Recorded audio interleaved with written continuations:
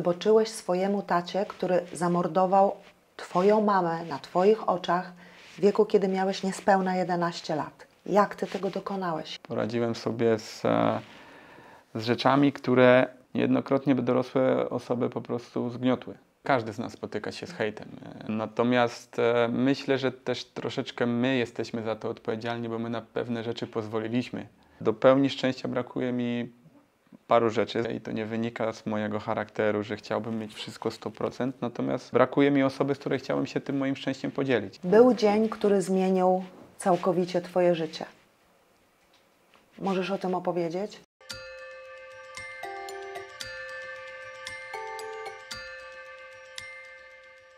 Zapraszam. Kuba, zobacz. Zobacz, co ja dla ciebie mam. Pomimo, że jestem beznadziejną kucharką, ale wiem, że to jest twoje ulubione ciasto. Tak, to jest mój ulubiony murzynek. Wchodząc tutaj e, do pomieszczenia, od razu poczułem zapach murzynka, bo jest specyficzny i to jest e, zapach ciasta, które przypomina mi moje dzieciństwo. O, to Także dziękuję bardzo. Ja się tylko zdradzę tajemnicę, że to jest trzecie, które dopiero mi wyszło i piecze się od wczoraj wieczór, ale, Mm, ale czuć zapach, naprawdę. ale pachnie co. Oj, to tak się cieszę, że powiedziałeś o Dzięk- dzieciństwie. dziękuję bardzo.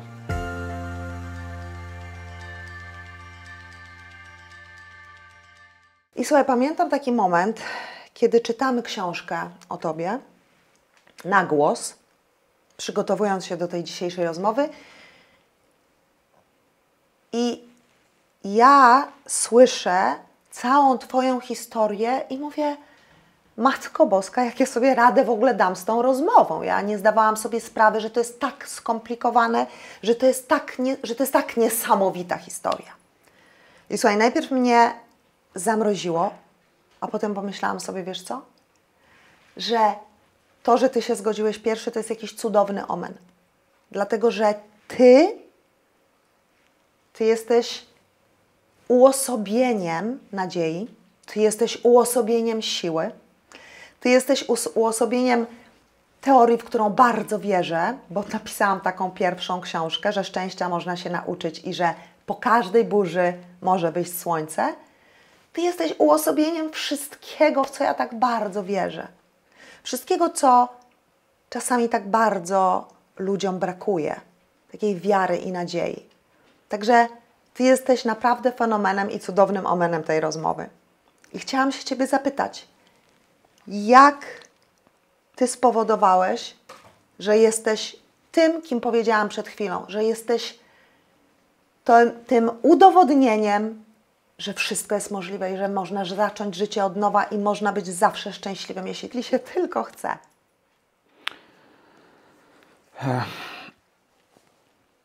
Ciężko odpowiedzieć na to pytanie, bo na pewno e, ja myślę, że tego, do, tego, do tego słowa e, samotność to wrócimy. Bo, a, Bardzo bym chciała, tak. bo, bo myślę, że to jest istotne, No właśnie. jak sobie z tym radzić. Ja nie wiem do tej pory, czy ja potrafię sobie z tym poradzić, bo przychodzą takie momenty ciężkie, gdzie naprawdę wydaje się człowiekowi, że już te, przez to przechodził, natomiast ta świadomość, którą posiada e, przez te wszystkie przeżycia, które przeszedł, powoduje, że człowiek też e, z większą świadomością jest e, e, troszeczkę słabszy, bo wie z czym się zmierzył. Jeżeli wiemy, że coś nas dotyka pierwszy raz, to mamy, tak jak e, słusznie zauważyłaś, tą wiarę, siłę. Natomiast jeżeli ja dzisiaj miałbym powiedzieć, żebym był w stanie z tym, e, z tą głową i z tym, tą świadomością, którą posiadam, przejść tą samą drogę, myślę, że byłoby mi dużo, dużo ciężej. Bo jednak ta świadomość powoduje to, że człowiek wie, z czym się mu przyjdzie zderzyć. Jeżeli nie masz tej świadomości, to wszystkie przeszkody bierzesz na siebie idziesz dalej. Nie widzisz tej góry, która jest przed tobą. Myślę, że to troszkę można porównać tak, do wejścia na szczyt. Jakbyś wiedział po drodze, ile czy ci wszyscy alpiniści, którzy wchodzą i, i zdobywają najwyższe szczyty, no nie wszystkim się to udaje. E, I myślę, że za drugim, trzecim, natomiast to by musieli się właśnie ci ludzie wypowiedzieć, za drugim, trzecim razem, jeżeli mają świadomość, gdzie doszli i chcą jeszcze iść dalej, wiedzą już, z czym im się przyjdzie spotkać do tego momentu, w którym są. E, I, i tu myślę, że, że jeśli chodzi o świadomość, to e, powoduje, że człowiek staje się troszeczkę słabszy. W sensie takim, że wie, z czym się mu przyjdzie zderzyć i nie zawsze jest w stanie e, znaleźć w sobie właśnie na tyle siły i tej takiej wiary, że się uda. E, e, mówię to przez pryzmat swoich przeżyć, mówię to przez pryzmat tego, co, co przeszedłem. Natomiast e, przez to, co przechodziłem, w wielu sytuacjach byłem samotny. W wielu sytuacjach byłem tak, że musiałem sobie po prostu radzić z tym wszystkim e, e, sam. I patrząc z perspektywy czasu, patrząc teraz na siebie,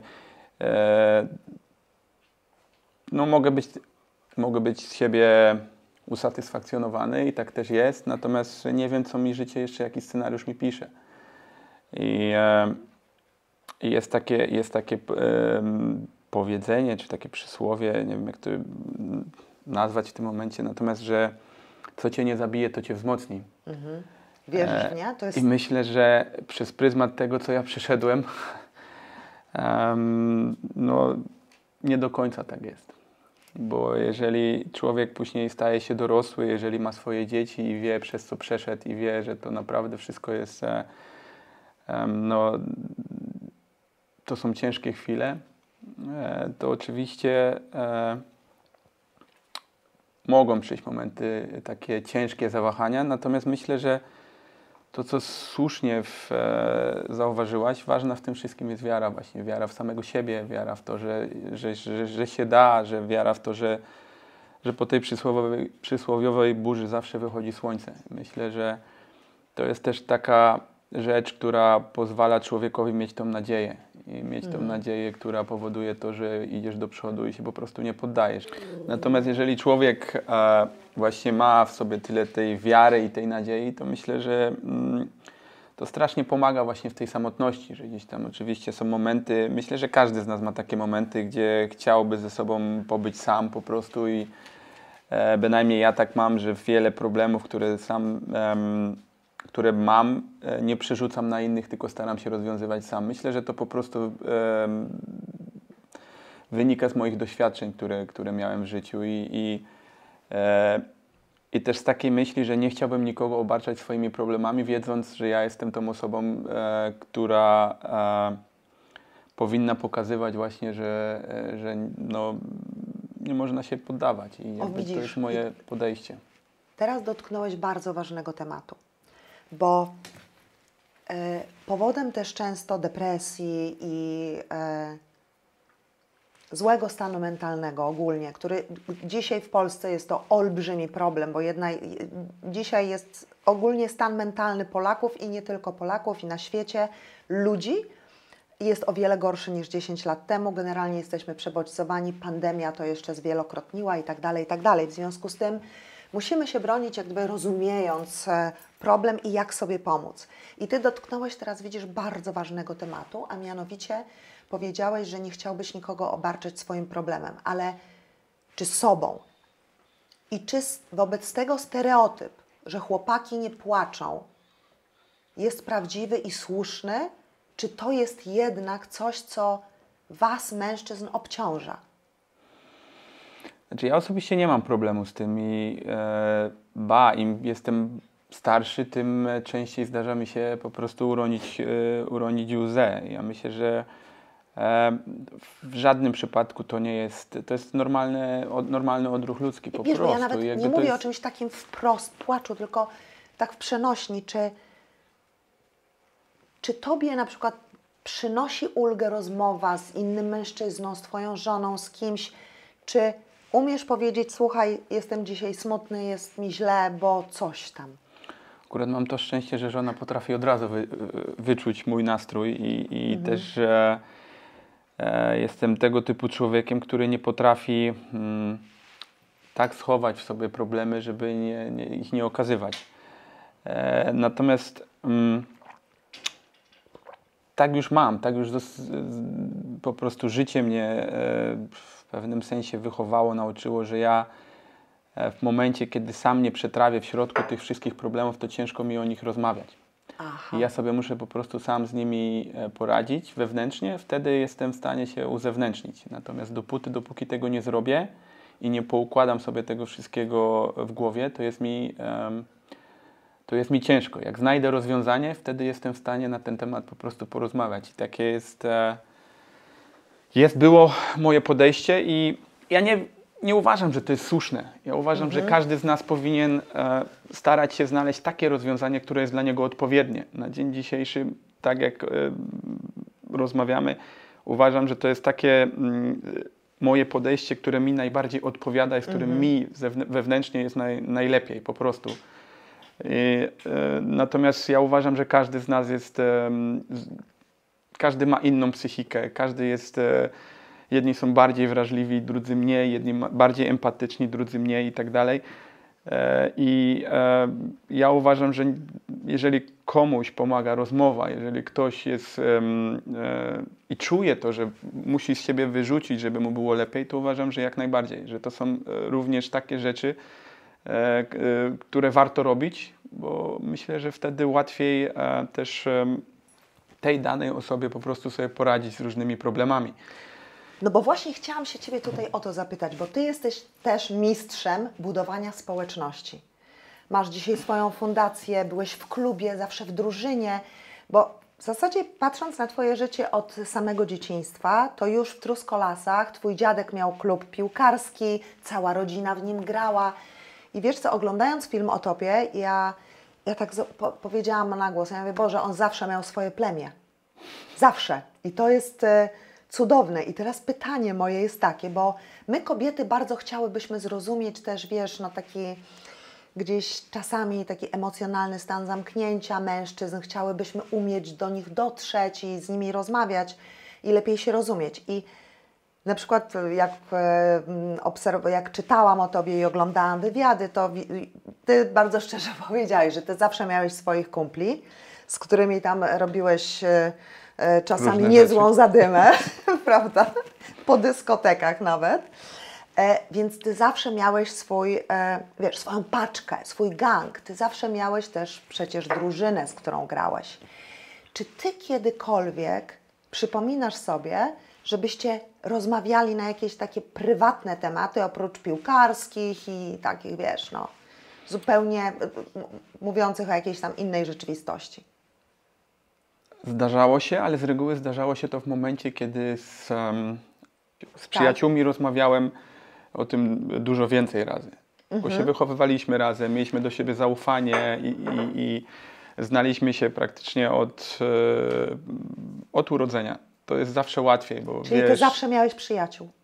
Tak, No to to jest wspaniała rzecz. tak. I w sumie do tej pory cały czas każdy ma swoją rodzinę i każdy ma swoje życie, no bo umówmy się, każdy z nas e, prowadzi swoje życie, poszedł swoją drogą, natomiast cały czas mamy kontakt i, e, i mimo tego, że mm, tego czasu jest mniej, bo, bo jednak em, każdy założył swoją rodzinę i, i Bardziej i- jest zajęty. Dokładnie i musi też być odpowiedzialny za tą rodzinę to, e, to cały czas staramy się ten kontakt utrzymywać i, i, i te, e, te spotkania od czasu do czasu organizować.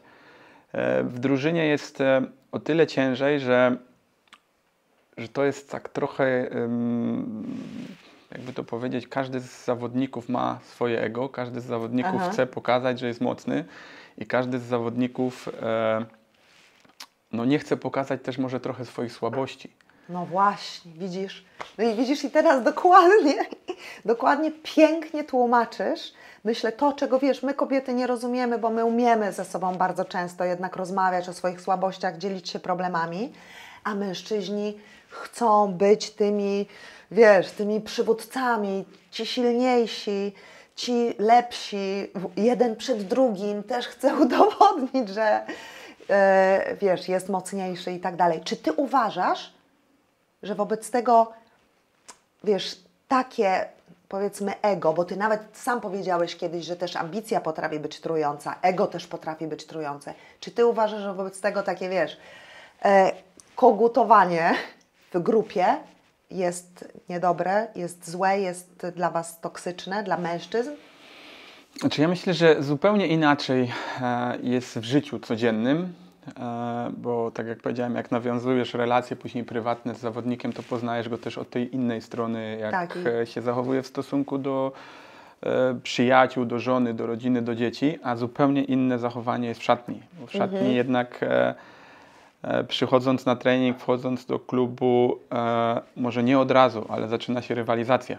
No, I- no właśnie, no właśnie. Myślę, że ta rywalizacja powoduje to, że e, żaden z nas nie chce pokazać, że jest Że ma słabszy słabszy. E, i, I ja bym po prostu to oddzielił, to co się dzieje w szatni, to co się dzieje później na boisku, bo w meczach jest bardzo podobnie, też e, cały czas, tego nie widać na kamerach, ale to cały czas jest właśnie em, pokazywanie takie, że e, ja tu będę, ja tu jestem i ja tu będę, Ja musisz się rządzę. ze mną liczyć, dokładnie. Ale to jest, to jest normalne, to jest wszystko, w, em, to jest sport i, i jakby mm, każdy z nas zdaje sobie sprawę z tego, że niekiedy w piłce nożnej czy w różnych innych dziedzinach, e, nie tylko sportowych, ale drobne rzeczy niekiedy potrafią zrobić różnicę i, i jakby e, w, e, Znałem wielu chłopaków, z którymi też później rozmawialiśmy po, prostu prywatnie. Mało tego, też w ostatnim okresie miałem przyjemność e, być w Dortmundzie i porozmawiać z chłopakami, którzy już nie grają w piłkę. E, I, I myślę, że mamy taki jeden wspólny mianownik, który, mm, który jest dość, dość istotny, że z większością e, chłopaków, z którymi grałem, większość ma ten sam problem, że nie potrafi sobie poradzić z, tą, z tym brakiem tej adrenaliny, którą mieliśmy na co dzień. No nie uwierzysz, to było następne pytanie moje. Jak I- sobie z tym poradzić? Bo, e, przepraszam, że Ci przerwę, powiem, opowiem Ci coś takiego, co czytałam ostatnio o Beyoncé, słuchaj.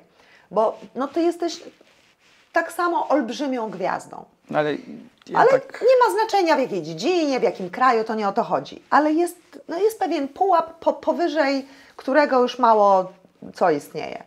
Mianowicie ktoś zapytał Beyoncé, czy ona brała kiedyś narkotyki, albo czy, pije, czy nadużywa alkoholu, no, czy jest od czegoś uzależniona.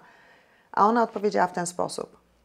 Wyobraź sobie, że ja wychodzę na scenę, z 80 tysięcy czy kilkadziesiąt tysięcy ludzi skanduje moje imię, a potem wracam do hotelu i jest cisza.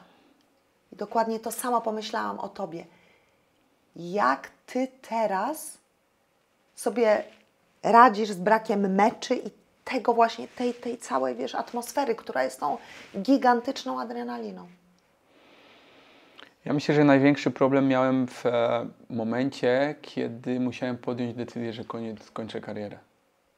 To wymagało wielkiej siły. Tak. em, jeszcze wracałem po kontuzji kolana i, e, i myślę, że ta kontuzja kolana trochę pomogła mi w tym, żeby to wyhamować. zrozumieć. Tak. I, i, e, I myślę, że to był taki najcięższy moment, e, jeśli chodzi o piłkarską karierę, żeby właśnie podjąć tą decyzję, czy to już naprawdę jest ten koniec, bo człowiekowi się wydawało, jak zaczynał, że w sumie 20 lat przed e, sobą grania i wszystko przed sobą, jest jeszcze młody i tak dalej, a tu nagle wszystko się skończyło bardzo szybko, mimo tego, że minęło tych 18 czy 20 lat, bo jak właśnie jesteś w tym całym mm, biznesie, w piłce, w sporcie, to to wszystko tak szybko się dzieje, że nie zwracasz uwagi na to, co było, tylko patrzysz cały czas do przodu.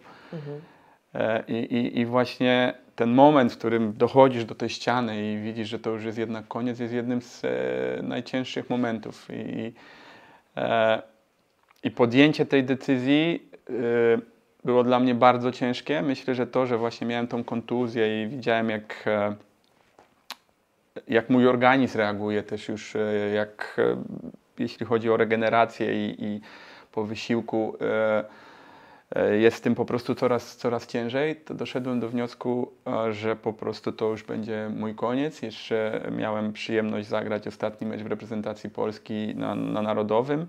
To był taki mój moment, w którym mm, już e, rozumiałem to, że to jest koniec. Natomiast to, co się działo przed tym, zanim doszedłem do tego momentu, bo w sumie wiele razy byłem z racji tego, no, że grałem w piłkę nożną. Może nie tyle z racji tego, ale myślę, że też trochę z mojej przekory i tego mojego takiego charakteru, że nie zawsze godziłem się na takie rzeczy, jak, e, e, jak wypadało, tylko robiłem to, co uważałem. I, i, i myślę, że też dla co po niektórych po prostu byłem osobą, która no, nie do końca jest wygodna i też e, wiele razy byłem podgryzany na przykład różnymi artykułami i tak dalej, i tak dalej, czy się nadaje, czy się nie nadaje. E, I to był jeszcze taki mój kolejny etap do tego, żeby udowodnić sobą, sobie, że jeszcze potrafię, mimo tych dwóch e, lat niegrania, powrotu po kontuzji, że, że jeszcze, żeby pokazać, że jeszcze te 16, 16 minut dam radę wytrzymać. I, i, I w sumie to był też taki ostatni mój moment, w którym utwierdziłem się w przekonaniu, że to już jest ten moment, że, że, że należy skończyć. Natomiast też e, druga strona medalu była taka, że mentalnie byłem już mocno zmęczony tym wszystkim, że, że miałem po prostu po tych nastu latach już, um, już dość. Myślę, że jeżeli w sporcie nie masz motywacji, to jest e, od razu powinieneś e, mieć z tyłu głowy to, że jeżeli nie, nie robisz czegoś, czegoś na 100%, bądź nie jesteś w stanie, bo organizm no już nie jest w stanie dać tyle, ile byś chciał, to, to jest ten moment, kiedy trzeba po prostu podziękować. Powiedziałeś teraz też o czymś bardzo ważnym, a mianowicie, że Cię podgryzano, że y, ludzie, niektórzy traktowali Cię niesprawiedliwie, oceniali, wkładali pewnie w swoje usta słowa, których nie powiedziałeś, albo Twoje myśli, których nawet nie pomyślałeś. Czy spotkałeś się z hejtem? Czy to Cię zdemotywowało? Myślę, że my w tych czasach, w których teraz żyjemy, każdy z nas spotyka się z hejtem. E, I to, co możemy zauważyć, że jest tego po prostu coraz więcej. E, natomiast e, myślę, że też troszeczkę my jesteśmy za to odpowiedzialni, bo my na pewne rzeczy pozwoliliśmy. Mhm. Zaczęło się z tego, co sobie przypominam, komentowanie artykułów i ta granica była z każdym rokiem przekraczana. Dopóty, dopóki na przykład to, co ja zauwa zauważam po upływie tych lat, nie zaczęło to już dotykać dziennikarzy, bo teraz dziennikarze na przykład sta stają się również osobami publicznymi. Wcześniej, jeżeli to ich nie dotykało, nie rozumieli tego, nie tak? zwracali na to uwagę. Teraz widzą, że też są atakowani i wiedzą, że e, w wielu sytuacjach nie jest to no, nie tyle sprawiedliwie, co, co, co, co no jest to robione po złości, albo no tak jak wiemy, już teraz wiele rzeczy można zrobić na zamówienie, zaczęło to przeszkadzać. E, I, i ja myślę, że e, no pod, tym, pod tym względem mm, no nie idziemy w dobrą stronę, bo teraz mamy dzieci, e, mhm. które też mają coraz to większy dostęp do mediach społecznościowych. I ja tu patrzę już przez pryzmat swojego dziecka, bo ja wiem, co ja przeszedłem i wiem, jakby znam swoją wartość i wiem, e, jak to ten cały biznes się obraca. E, natomiast myślę, że nasze dzieci teraz są karmione wszystkim, co jest piękne i kiedyś byliśmy oceniani, nie było dostępu do internetu, do telefonów, byliśmy oceniani przez sąsiadów, przez ludzi, dość wąskie grono osób.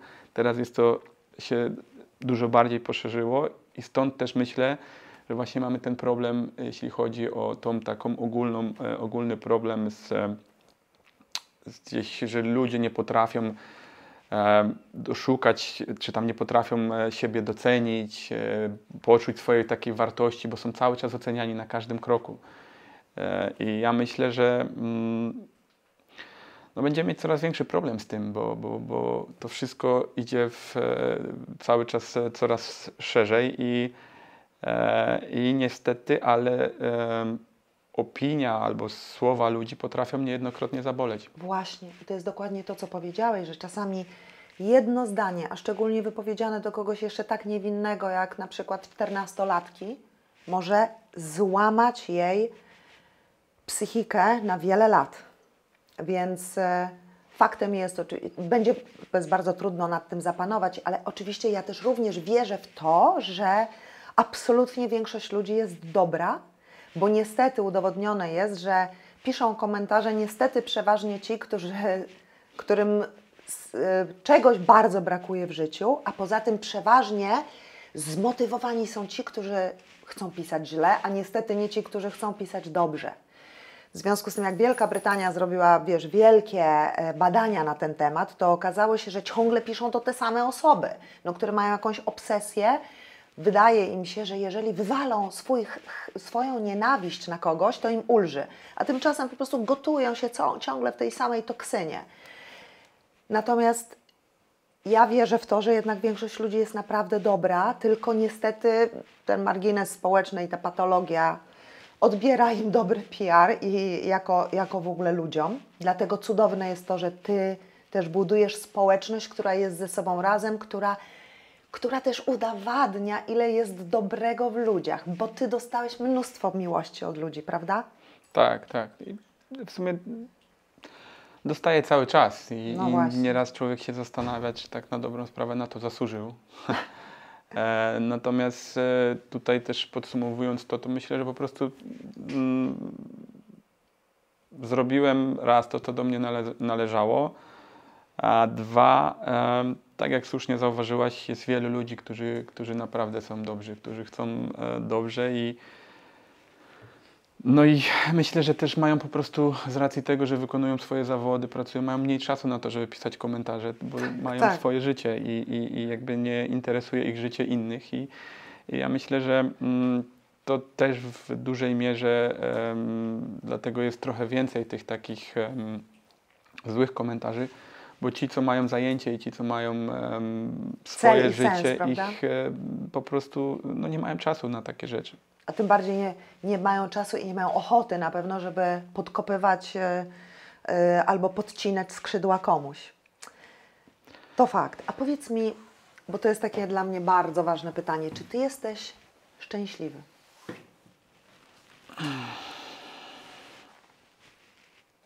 Ja już to chyba kiedyś mówiłem, że szczęśliwy jestem z tego, co osiągnąłem, z tego, co. Mm,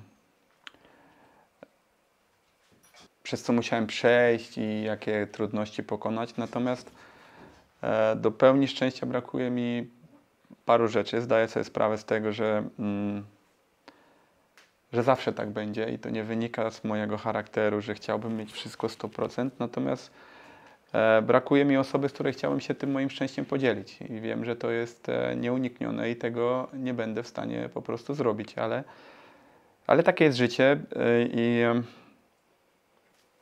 Mówisz w tej chwili o swojej mamie. Tak.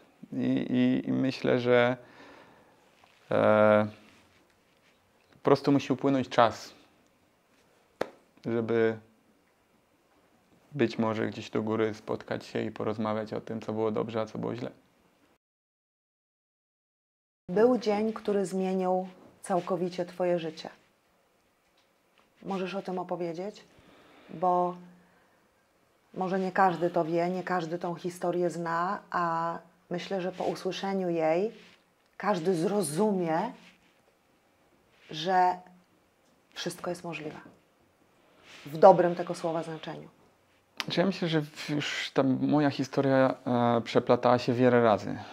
Natomiast e, ja nie skupiałbym się na skutku tej mojej e, historii, tylko na przyczynie. I, i myślę, że przyczyną, e, przyczyn było wiele do tego i e, ja też potrzebowałem czasu, żeby pewne rzeczy zrozumieć. Potrzebowałem czasu, żeby mm,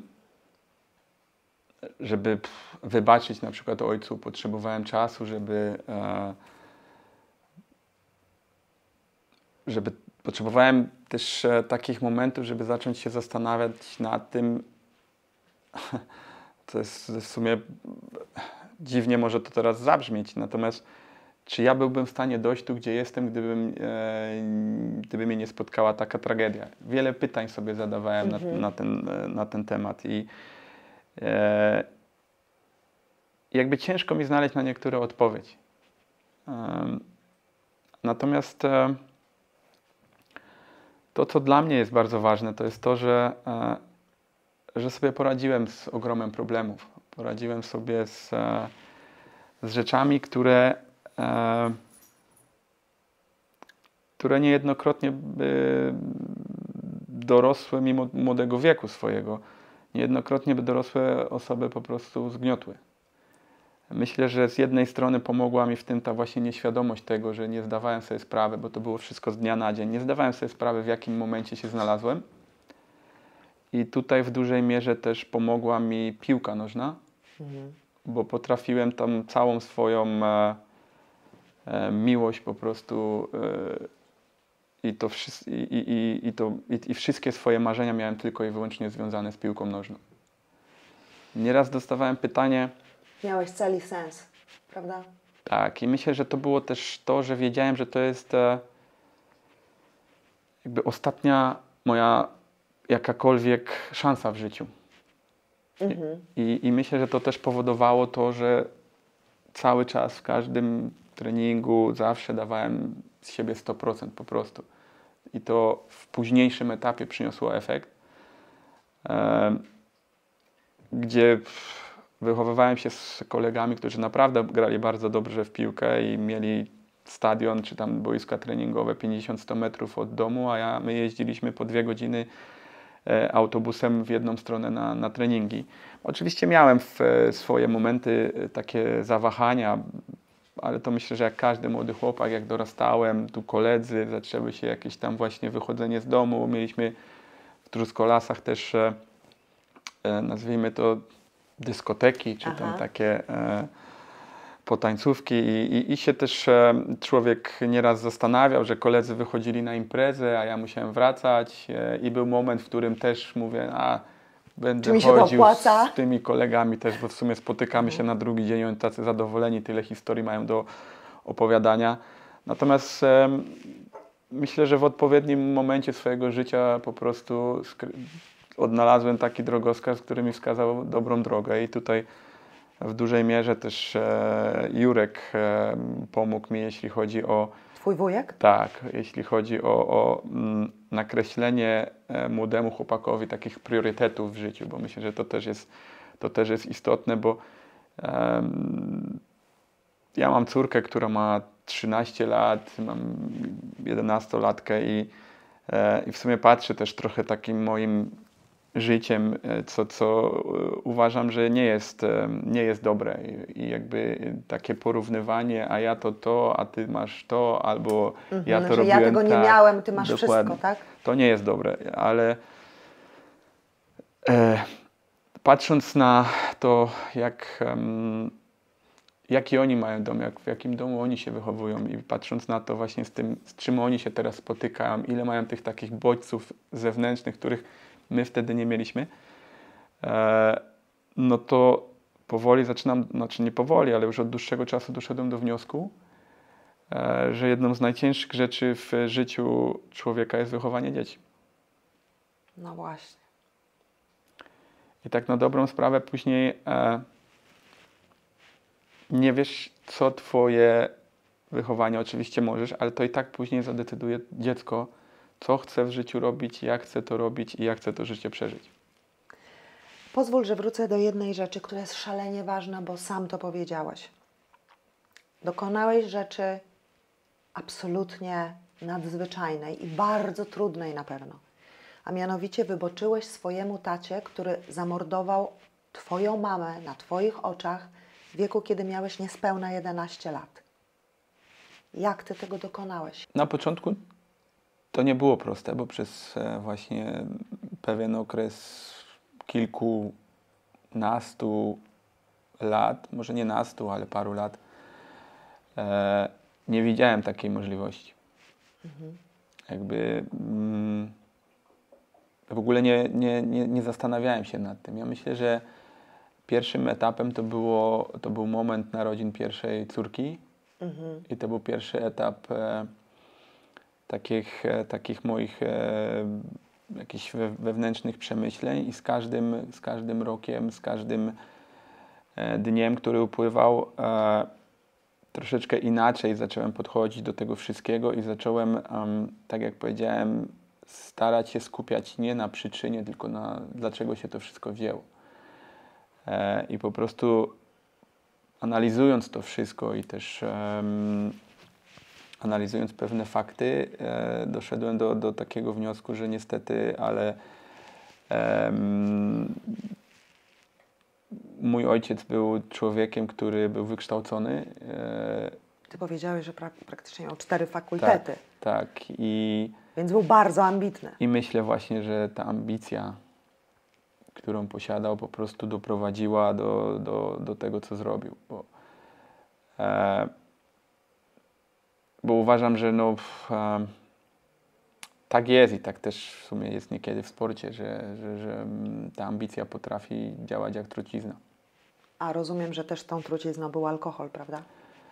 Dokładnie, tą trucizną też, ja myślę, że to było po prostu też taka, taka mieszanka e, wybuchowa, natomiast to wszystko się działo, e, już można było zauważyć dużo wcześniej, że, że, że ta granica jest cały czas przesuwana. Ja bym chciała też poruszyć tutaj jedną rzecz w obronie mam, ponieważ twoja, twoja mama była niesamowicie Wam oddana, prawda? Chłopcom, swoim synkom. I chcąc na pewno dla nich jak najlepiej, nie uciekła do Twojej babci, czyli swojej mamy, do swojego brata, do, do rodziny, gdzie teoretycznie mogłaby to zrobić i siebie uratować. I bardzo łatwo, bo to jest też druga strona medalu, e, bo ja bardzo często słyszę, że nie rozumie się kobiet, które są ofiarami przemocy. A jednak istnieje jakiś schemat tak bardzo w, w nich e, zakodowany, jakaś, jakaś bardzo duża wiara, że jednak ten dom, nawet jeśli jest nieszczęśliwy, czy czasami jest w nim przemoc, albo nawet często jest w nim przemoc, to jednak lepiej, żeby ten dom istniał, niż miałoby go nie być. Tak twoja mama myśli, czy twoja mama myślała podobnie? E, ja myślałem, że tak, ale do tego też e, myślałem, znaczy myślałem, myślę, że ona cały czas wierzyła, że to się zmieni. Aha. E, no i to myślę, że też wynikało z tego, że po prostu mimo tego, że, że, że działo się to, co się działo, wierzyła po prostu w to, że, że, że ojciec się zmieni, przestanie pić i będzie, będzie normalnie. A czy myślisz, powiedz mi, a czy myślisz, gdyby Twoja mama powiedziała prawdę swojej mamie, Twojej babci lub swojemu bratu, to coś by się zmieniło? Oni potrafiliby przeciwdziałać? To byłoby możliwe? E, ciężko mi powiedzieć teraz, bo jakby wiem, że babcia wiedziała o paru rzeczach i, i, i ciężko mi teraz tutaj stwierdzić. E, I babcia zwracała uwagę na, na, na, na pewne rzeczy. E, natomiast, e, tak jak powiedziałem, myślę, że mama żyła cały czas tą nadzieją, że to się zmieni. I, i, i, dlatego a, e, dawała szansę. Tak jak kiedyś powiedziałeś świetnie w swoim wywiadzie, że nie ma co porównywać tragedii, bo każdego zmartwienie jest inne i dla niego najważniejsze. Ale myślę, że też i z tego, co obserwuję i słucham, to bardzo często ludzie stawiają siebie w pozycji ofiary, czyli oskarżają innych lub okoliczności, zawstydzają innych. W związku z tym też nie wyciągają lekcji z własnych błędów, ponieważ ciągle ktoś jest winien. W Twoim przypadku, biorąc pod uwagę Twoją historię, zostanie ofiarą byłoby bardzo łatwe, bo miałeś pełne prawo do tego powiedzieć, no słuchajcie, ja miałem taką historię, że ja sobie mam prawo teraz e, nie dawać rady i ogólnie rob, robić rzeczy absolutnie nielogiczne i szalone.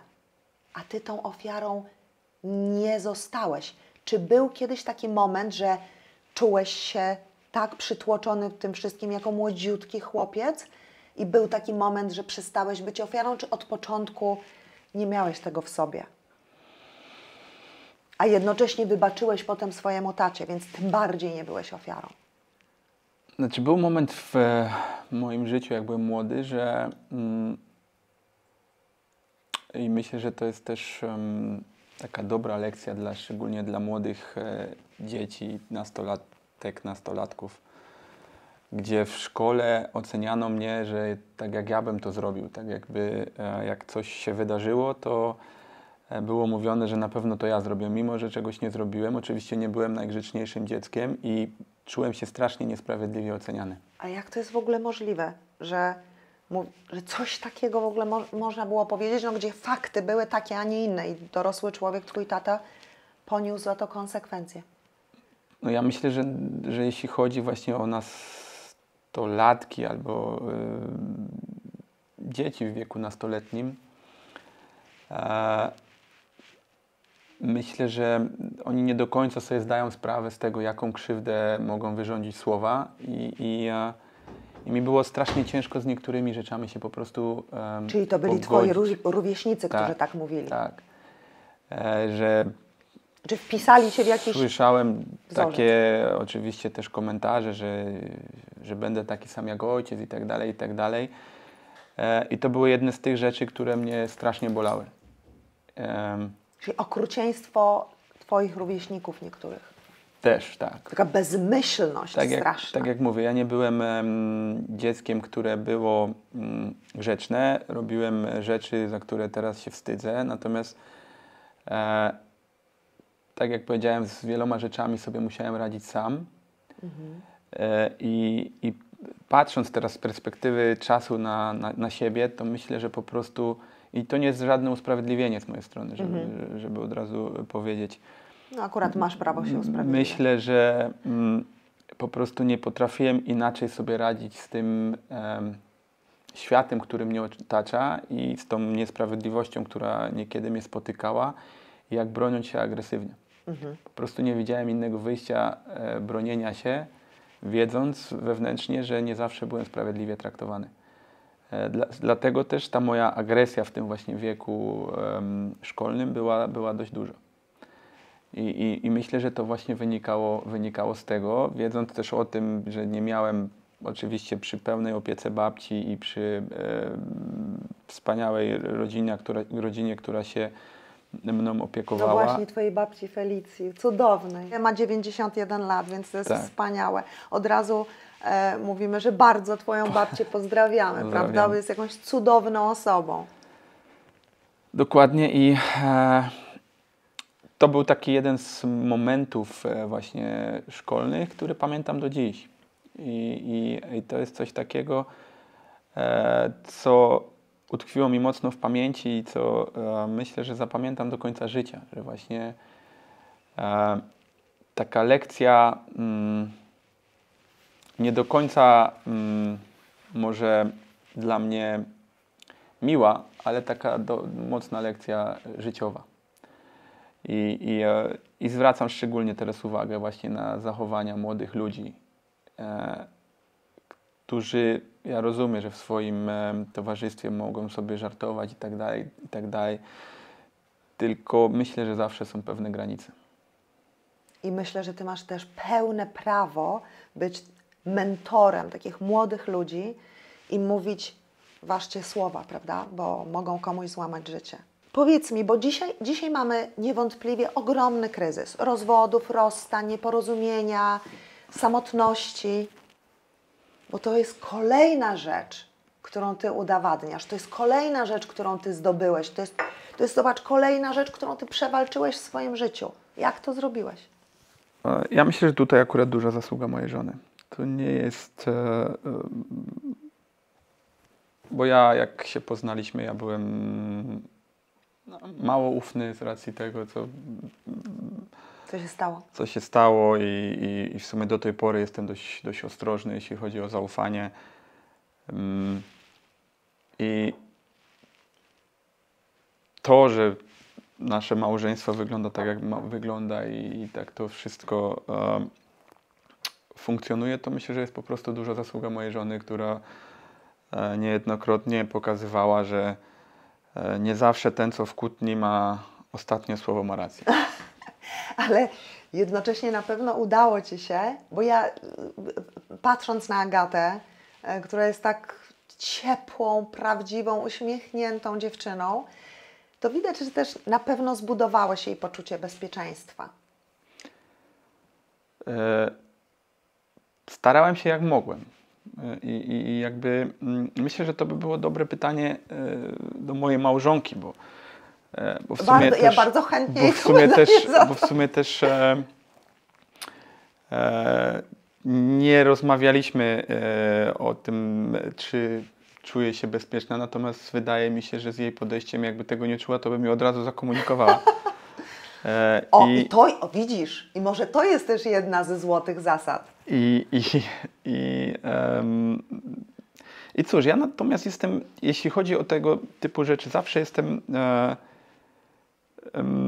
ostrożny, bo tak jak słusznie zauważyłaś, ja uważam, że mm, zawsze miło się w życiu mm, zaskoczyć niż, niż rozczarować i, i taką zasadę po prostu e, stosujemy i nie patrzymy to, ile raz, lat już razem jesteśmy, tylko patrzymy to, co jest, to, co jest, e, to, co jest przed nami i, e, i tak staramy się po prostu budować, budować nasz związek i i tak jak powiedziałem, no ja się zmieniłem też jako człowiek, e, ale myślę, że każdy z nas z upływem lat, upływem doświadczeń się zmienia i, i, i tak dalej, i tak dalej. Absolutnie nie mam nic, bo w życiu różnie bywa i, i, i rozwody nieraz przynoszą naprawdę dużo dobrego, bo Oczywiście. jedna i druga osoba idzie w swoją stronę i ma e, i każdy sobie po prostu potrafi ułożyć życie i to, i to przynosi od też nowa, życie od nowa, tak. I to przynosi też e, efekt dla jednej, dla drugiej, bo, bo, bo, bo są szczęśliwi.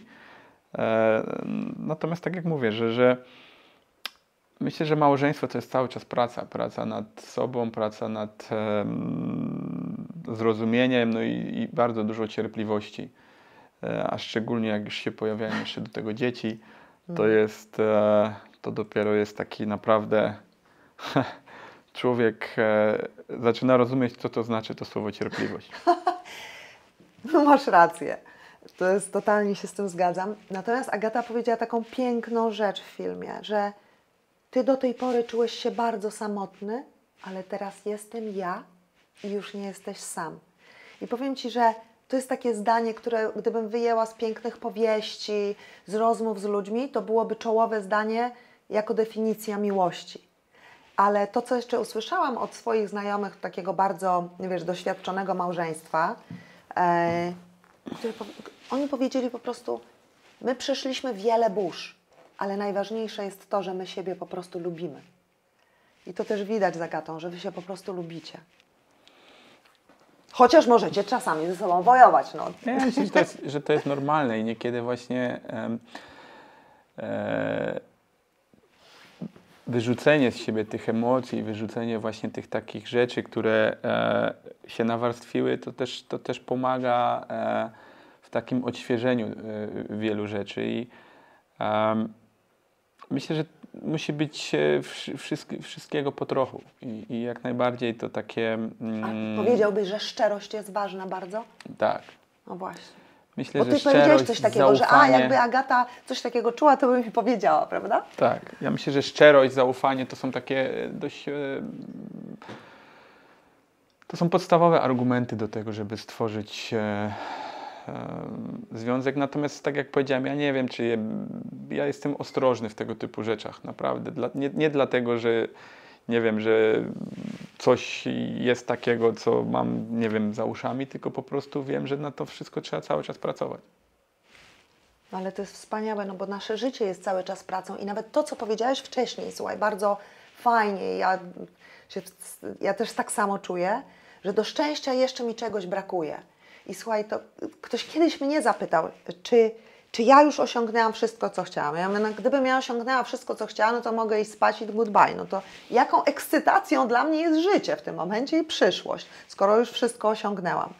W związku z tym Ty powiedziałaś tak w bardzo podobny sposób, że jeszcze Ci do tego szczęścia brakuje iluś rzeczy, ale czy to z, z drugiej strony nie jest cudowne, że jeszcze musisz gdzieś wchodzić na górę i jeszcze musisz coś osiągnąć. To jest tak, jak kolega mój powiedział, słuchaj, że robiąc swoje 50. urodziny, ktoś zapytał, a czemu, bo on robił je akurat w górach i ktoś mówi tak, ale przecież tam jest taka super restauracja na samym szczycie góry, ty mogłeś symbolicznie zrobić tam te swoje 50. urodziny, zamiast tu na nizinach.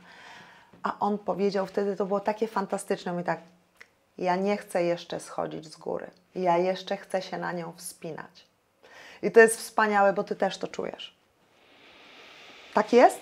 Znaczy, jakby, bo to jest wiele. E, wiele jest aspektów do tego, żeby powiedzieć, że człowiek jest szczęśliwy. Nie wiem. E, dla mnie szczęściem to jest też, czy dla mnie z tym, że będę bardziej z życia zadowolony, czy bardziej szczęśliwy, będzie to, że będę wiedział, że moje dzieci potrafią sobie poradzić w życiu. I to jest kolejny aspekt, który też e, e, jest dla mnie istotny i który nie jestem w stanie sobie teraz na to pytanie odpowiedzieć. E, tak jak mówimy, no, ja na dzień dzisiejszy jestem na takim etapie w swoim życiu, że potrzebuję po prostu nabrać trochę dystansu, zastanowić się nad tym, co będę chciał dalej robić. I, i pewnie jak podejmę Bo jesteś taką. w przełomowym momencie. Dokładnie. Mhm. Jak podejmę taką decyzję, to pewnie też. E, mm, sposób, nie, nie tyle sposób, tylko ten pierwiastek mojego szczęścia spadnie, e, pójdzie trochę niżej, bo pewnie znowu sobie wyznaczę nowe e, swoje jakieś tam cele do osiągnięcia i, e, i myślę, że tak też trochę jesteśmy po prostu my jako w życiu, jako ludzie skonstruowani, że, że, e, że, że też ciężko wpadać w samozachwyt, jak wiemy ile jeszcze, albo nie wiemy ile jeszcze przed nami i E, że tak na dobrą sprawę, tak jak ja teraz w tym momencie swojego życia, e, dopiero jestem na etapie zastanawiania, zastanawiania się, co dalej. I, i no jakby no to też jest. E, to też później ewentualnie będzie się wiązało z tym moim poczuciem takiego, um, może to nazwijmy takiego spełnienia, bo, bo, bo przypuśćmy, nie wiem, podejmę decyzję, że pójdę w w trenowanie, to wszystko mhm. to, co mhm. zrobiłem do tej pory idzie do szafy i zaczynam od zera, tak? I, mhm. i e, przypuśćmy, że pójdę w inną stronę albo po prostu, nie wiem, podejmę inną decyzję, że zostanę w, w biznesie i e, jest wiele takich pytań, które, na które na dzień dzisiejszy nie jestem w stanie odpowiedzieć, natomiast to są pytania, które łączą się z tym moim właśnie później poczuciem E, tego takiego mm, samozadowolenia albo tej, takiego, tego, tego szczęścia. I, i e, ja myślę, że dobrze jest, jak w życiu człowiek ma taki trochę margines właśnie tego, że nie czuje się w pełni szczęśliwym, bo nie Takiej daje 100%. Prawda? Tak, no. tego, tego dreszczyku, tego czegoś, że no, nie jesteśmy pewny, pewni, czy będzie dobrze, co dalej nastąpi. Bo wiesz co, e, podsumowując to, co zresztą fantastycznie opisałeś, jak to czujesz. Ewa Wojdyło, której jestem fanką, ona mówi genialną rzecz. Nieszczęście w życiu masz jak w banku, ale szczęścia musisz się nauczyć. I generalnie szczęście to jest to, żeby się cieszyć tym, co się ma, a nie martwić się tym, czego się nie ma. Więc łatwo powiedzieć, trudniej zrobić. Ale Dokładnie. myślę, że Ty to pięknie opisałeś w tej chwili. Czy pieniądze dają Ci szczęście? Ułatwiają w życiu bardzo dużo. E, I myślę, że dają takie też poczucie bezpieczeństwa. Mm, no właśnie. Takie a, ważne słowo, e, prawda? A jeżeli człowiek czuje się be, be, bezpieczny, to myślę, że też czuje się szczęśliwszy. Mhm. E, I, I, w tym rozumowaniu myślę, że, że, że tak. Natomiast nie są w moim życiu najważniejsze. Nie wiem, czy my jako społeczeństwo jesteśmy gotowi na to, żeby rozmawiać swobodnie o pieniądzach. A właśnie, zacznijmy. No ale dlatego to myślę, że nie ważne. wiem, czy my jako ogół jesteśmy w stanie e, o tym rozmawiać swobodnie, bo w większości przypadków jest to e, odbierane dość tak, e, że ten się przechwala, mhm. ten e, ma więcej jest i tak dalej, i tak dalej. Myślę, że po prostu jako społeczeństwo potrzebujemy czasu i słusznie też uważam, że E, książki czy jak, jakakolwiek edukacja może nam w tym po prostu pomóc. I, e, i, i, i to naprawdę nie jest problemem to, że ktoś zarobił więcej, bo widocznie po prostu się bardziej postarał, albo miał pomysł na coś, e, na siebie, albo miał pomysł na biznes. No i u nas często się na to tak zwracamy uwagę, że że jak ktoś ma więcej, to musiał gdzieś coś zrobić, jakiś przekręt albo co, coś miał, miał zrobić e, nie do końca zgodnego z prawem. Natomiast e, wielu ludzi, którzy zarobili mm, swoje pieniądze, po prostu zarobili to ciężką pracą. E, myślę, że ktoś, kto ma przedsiębiorstwo, to wie, że pracuje nie, nie tylko od godziny 8 do przypuśćmy 16, tylko pracuje wracając do domu, cały czas się zastanawia, wymyśla nowe rzeczy. To nie jest zawsze zauważone przez pracowników, natomiast tak jest i, i ja osobiście bardzo się cieszę z tego, jak komuś się powodzi i ba, nawet kibicuję i, i to też świadczy po prostu e, bardzo dobrze o nas i myślę, że to jest droga, która e, będzie prowadziła nas do takiego rozwoju po prostu i będziemy im będziemy starać się, znaczy im będziemy bogaci, tym będzie, będzie uważam lepiej. No chyba każdy z nas e, jak zaczyna, może nie jak zaczyna, ale jak dochodzi w pewnym momencie do swojego wieku, to prędzej czy później trafi do pracy i, i jakby jak masz na siebie pomysł i co zrobisz, e, to ma później znaczenie na, tw na Twoją dalszą przyszłość. Brawo, powiem Ci, że no, lepiej tego nie mogłabym sama podsumować. A mm, chcę się Ciebie zapytać jeszcze o taką jedną ważną rzecz, bo przeczytałam ostatnio badania, e, które okazało się były jednymi z najważniejszych w ogóle w medycynie przez ostatnie 10 lat a mianowicie, że sport jest antydepresantem, ponieważ przeanalizowano, że każde napięcie mięśni sportowe, czy to jest szybki spacer, bieg, czy siłownia, czy tenis, cokolwiek, wydziela e, w tym momencie substancję jakby antydepresyjną do mózgu. Więc czy ty się zgodzisz z tym, biorąc pod uwagę całą swoją historię, bo jesteś tutaj akurat na pewno ekspertem w obydwu dziedzinach, biorąc pod uwagę Twoją rodzinną historię i twoją, Twoje życie, że sport jest antydepresantem, a alkohol jest depresantem? Znaczy na pewno sport mnie pomógł e, w życiu bardzo. Jakby mhm. sport e, myślę spowodował to, że mamy przyjemność dzisiaj tutaj siedzieć i rozmawiać. To jest, to jest, to jest na pewno. I jeszcze, w, do, jak, jeszcze w dodatku z punktu widzenia olbrzymiego sukcesu. Jak, to, to podkreślę. Jak, jak uprawiasz sport zawodowo, e, to mm, potrafi ten, ten sport naprawdę męczyć, jeszcze jak do tego dochodzi presja, potrafi ten sport wpływać też e, na, na głowę. Jakby masz momenty, które są ciężkie, które e, też są mm, momentami, które y, nieraz ciężko przezwyciężyć. Do tego jak dochodzą jakieś kontuzje, gdzie e, człowiek mimo tego, że uprawia sport praktycznie codziennie, nie może stać z łóżka, e, no to może być, e, chyba nawet rozmawialiśmy ostatnio z Łukaszem Piszkiem na ten temat, gdzie on w sumie po którymś meczu chyba półfinałowym e, Ligi Mistrzów e, wychodzimy na trening po meczu na, i on mówi, nie podawaj mi piłki, bo ja nogi nie mogę ruszyć. On miał wtedy problem z biodrem tak. no i tak. grał na blokadzie przez Ojej. dwa miesiące i czekał tylko na zabieg operacyjny. I jakby ja wtedy, e, znając jego, znając jego też charakter, jego upór, wtedy sobie zdałem sprawę, jaki to musi być dla niego ogromny ból i jak go te, też męczy po prostu psychicznie, że on w tamtym momencie, jak już yy, skończył się sezon, on doszedł do wniosku, że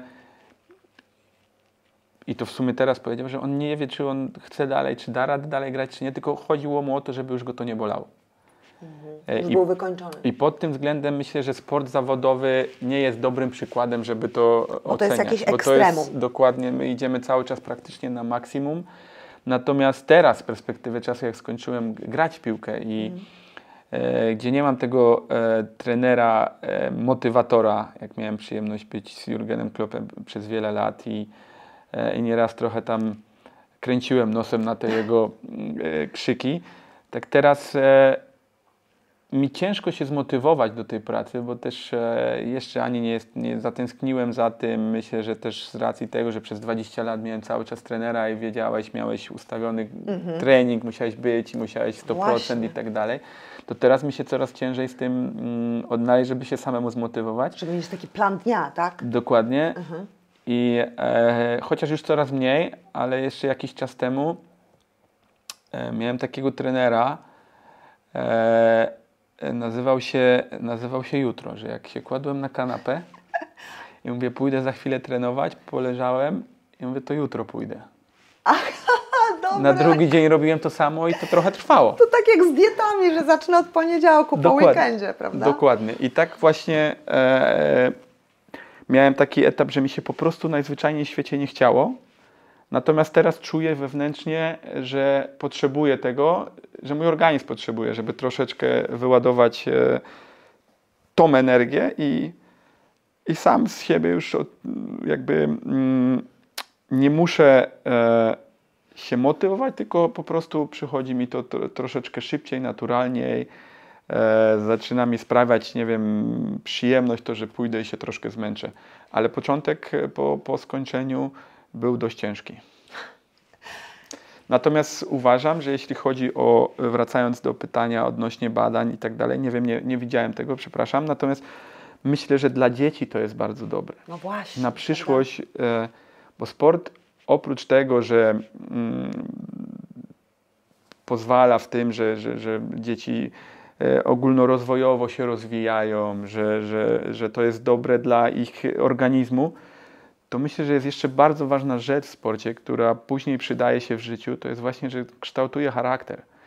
E, I, i nie wiem, bo to też pewnie trzeba by było się zagłębić, natomiast myślę, że jak ktoś troszeczkę uprawiał sportu, e, to i rywalizację sportową miał w, latach młodzieńczych, to później mu łatwiej sobie poradzić w tym dorosłym życiu, bo już wie, że trzeba rywalizować mhm. i jakby myślę, że mm, tak jak na moim przykładzie, czy, czy na przykładzie znajomych, którym nie wyszło w sporcie, widzę, że w życiu sobie po prostu później radzą. Nie wiem, nie jest to Mają jakby ogólnik. Tak? tak? nie jest to ogólnik, natomiast i, i jakby nie mam dostępu do badań, natomiast wydaje mi się, że e, że ten sport kształtuje charakter i jakby taki um, stricte właśnie takie um, niepoddawanie się, nie mm, i cały czas próbowanie, że, że może mi się uda, nie teraz mi się dało, to może mi się uda następnym. Teraz zająłem drugie miejsce, to zrobię wszystko, żeby na następnych zawodach wygrać, tak? Mhm. Ale wiem, że muszę trenować więcej niż ten ktoś, który był pierwszy. I myślę, że, że sport... Y, że sport pomaga po prostu później w takim życiu codziennym. E, Kiedyś tak się mówiło, prawda? E, I akurat to w ogóle nie jest e, głupie, tak jak wiele głupich stereotypów z przeszłości, a mianowicie w zdrowym ciele zdrowy duch. I powiem Ci, że ja sama to doświad doświadczyłam tego na sobie. Nieraz miałam ogromne problemy, ale w pewnym momencie poczułam, że ja muszę zacząć chodzić, biegać, ćwiczyć więcej. I słuchaj, to było ja sama na sobie w zasadzie przeprowadziłam te badania empirycznie, bo ja niesamowicie odczułam ulgę od stresu. A jeszcze, jeszcze jak się to wiesz, robi na zewnątrz, w lesie, gdzie masz zielone drzewa, to już w ogóle jest cudotwórcze. Więc myślę, że akurat mając Ciebie, taką ikonę sportu tutaj, myślę, że możemy powiedzieć: słuchajcie, kochani, sport to zdrowie, również w głowie. No, czy ja akurat jak uważasz? Jak przeanalizujemy moje kontuzje, to myślę, ale że... sam powiedziałeś, że ty byłeś ekstremem. Tak. E, myślę, że jak najbardziej, że sport naprawdę pomaga. Jakby też e, w takim odświeżeniu głowy i hmm. żeby właśnie sobie wyjść. E, nawet ta, nie musi to być jakiś e, bieg, może to być spacer. E, mm, ja też trochę zmęczony tym, myślałem, że uda mi się bez tego, Mhm. Tak teraz już wiem, że, że, że do końca chyba już e, e, dopóty, dopóki zdrowie oczywiście pozwoli, to będę potrzebował tego takiego właśnie bodźca, bodźca sportowego cały czas. Kuba, powiedz mi bardzo ważną rzecz. Na koniec. już kończymy? Wy... Już kończymy, tak fajnie się no, rozmawiam. Nie, poczekaj, no. poczekaj, możemy dalej gadać. Posłuchaj, wygrałeś swoje życie, Kuba na wielu poziomach przez wiele lat. To, co przeżyłeś, to jak przeszedłeś przez samotność, wybaczyłeś swojemu tacie, osiągnąłeś niesamowitą karierę, masz wspaniały związek i rodzinę. No, trudno byłoby, szczerze mówiąc, wygrać na jeszcze, na jeszcze, na jeszcze ilu poziomach można by było to życie wygrać. Powiedz, takie trzy swoje złote zasady, takie trzy złote klucze do wygranego życia, że życie można zacząć od nowa w każdej chwili. Co, co zrobić, żeby się to udało? Hmm.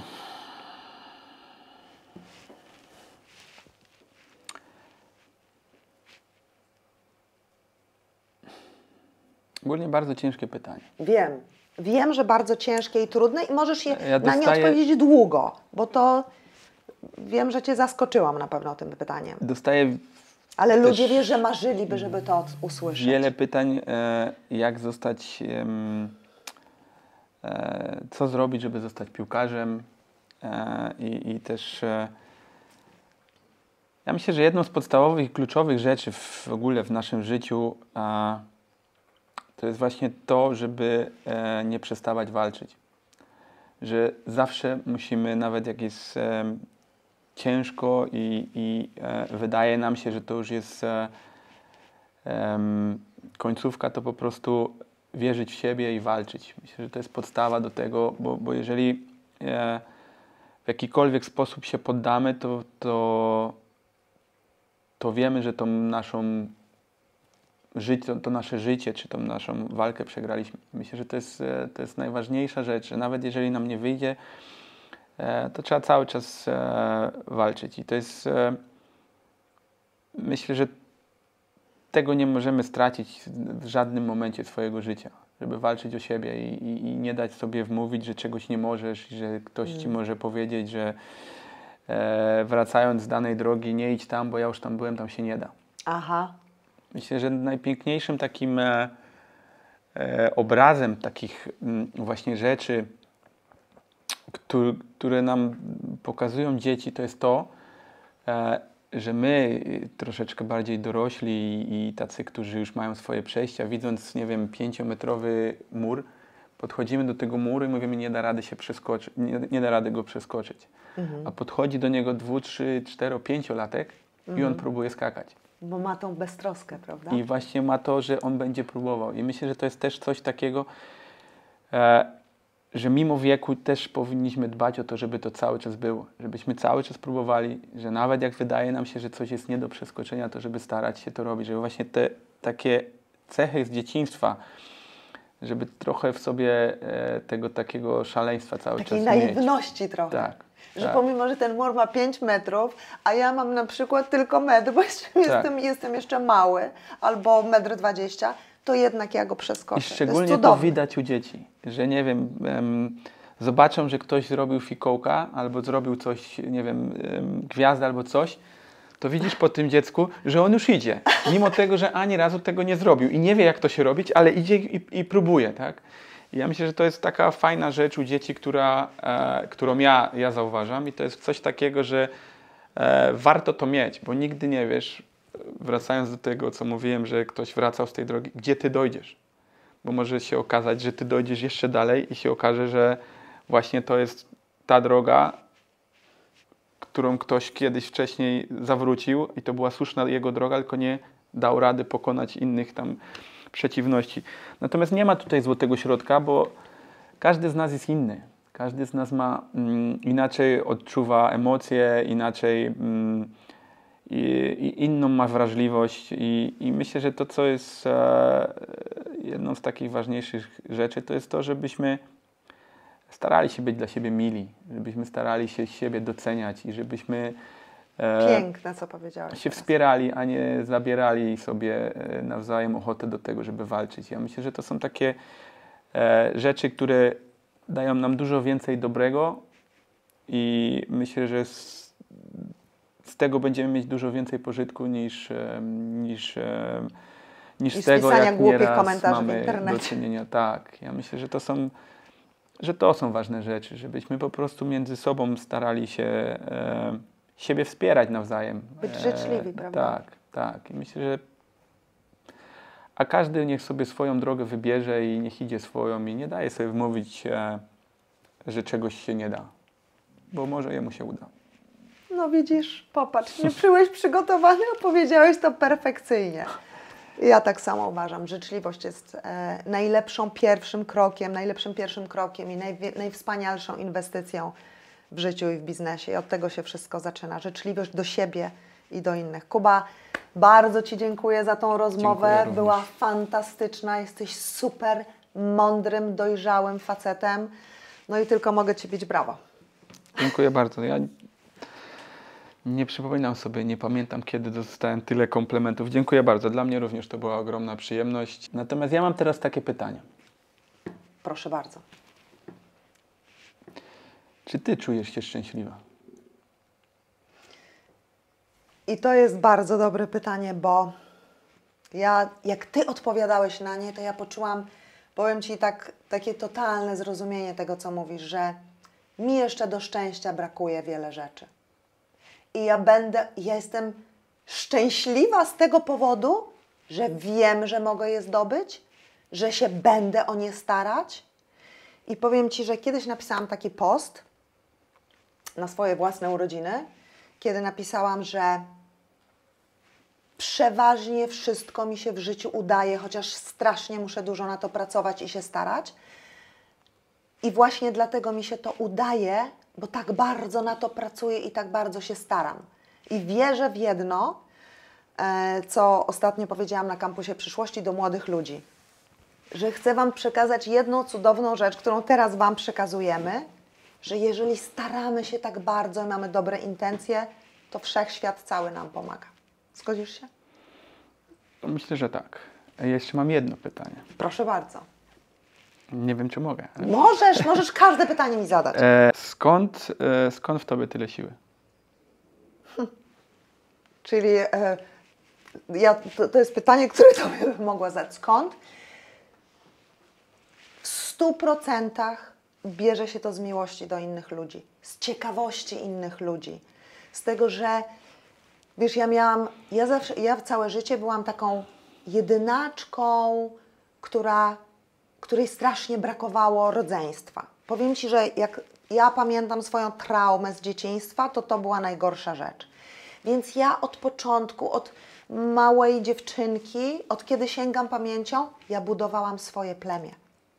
Przedszkolu, ja pamiętam, miałam przedszkole pod tytułem Kamyczek, ja tam byłam przewodniczącą. Ja zawsze zbierałam wokół siebie ludzi, zagarniałam do siebie, rozmawiałam. Wiesz, ja w liceum, jak ktoś miał problemy sercowe, to przychodził do mnie. Tak, tak jakoś się działo.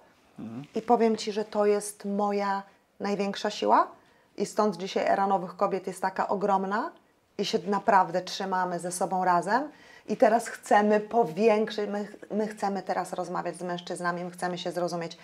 I ja powiem Ci, ja tego tak naturalnie chcę, że wiem, że mi się to uda.